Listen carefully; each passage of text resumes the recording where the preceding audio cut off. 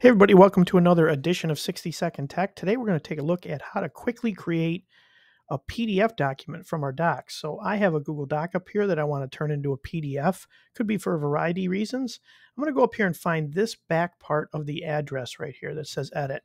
And I'm going to get rid of it and I'm going to type in export, a question mark, format equals PDF. And when I hit the enter button, magic will happen.